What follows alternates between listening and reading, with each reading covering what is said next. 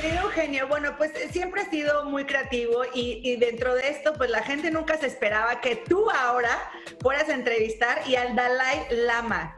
¿Cómo fue ese acercamiento? Y, aparte, bueno, causaron mucha controversia tus preguntas. Obviamente hablé con el equipo del Dalai Lama. Te piden que mande las preguntas para que claro. un control no me vaya yo a mandar, no vaya a hacer algo que no estén de acuerdo. Y, y hubo una, una, pregunta que esa sí fue mía, mía, mía y hasta me salí del guion. La del amor, ¿verdad? La del amor. La, la del amor. Pero quería preguntarle, ¿alguna vez se ha enamorado en su vida? Oh, yes. Oh, sí. Algunas veces cuando veo mujeres hermosas, pienso, oh, qué guapa. Pero luego, inmediatamente, recuerdo que soy un monje. ¿Y sabes qué me gusta de él? Que fue por la razón por la que lo busqué, eh, que tiene un gran sentido del humor. El año pasado lanzaste tu reality con la familia. Eh, se exponía, ¿no? A que la gente realmente conociera ese lado humano, pero también fueran criticados.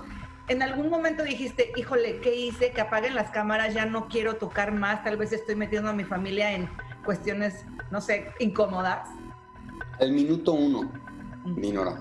Pero ya que estábamos ahí y que empecé a ver que era mucho más invasivo de lo que esperábamos, fue muy fuerte fue una buena experiencia, muy dura para toda la familia, trajo algunas consecuencias. De ahí creo que empezó de alguna manera el, el, deterioro de la relación de Aislinn con Mao. Tal vez si no hubiéramos hecho esto, hubieran seguido juntos o no. Lo hemos platicado y justo fue un tema que tocamos el otro día. Eh, le dije a mi hija, le ¿tú crees que si no hubiéramos hecho la serie eh, no hubiera pasado nada. Y me dijo, mm, fíjate que yo creo que la serie fue un catalizador. O sea, creo que si hubiéramos acabado separados tarde o temprano, fue algo que aceleró el proceso de una manera impresionante. Eh, yo siempre tuve dudas de, si había hecho bien o había hecho mal con haber hecho este, e, e, esta idea, con haber hecho este viaje. Pero a final de cuentas creo que fue una buena idea y lo que tenía que suceder en cinco años quizás sucedió en uno.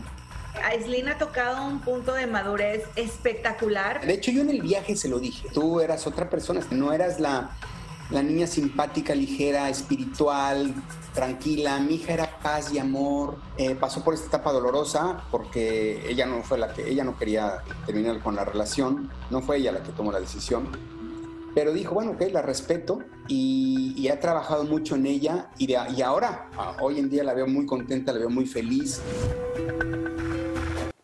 ¿Te gustó lo que acabas de ver? Pues tenemos más videos que seguramente serán mejores que, que acabas de ver. No te olvides de suscribirte a nuestro canal acá para que disfrutes de todo lo que tenemos para ustedes. Por ahora, eh, eh, también un like sería chévere.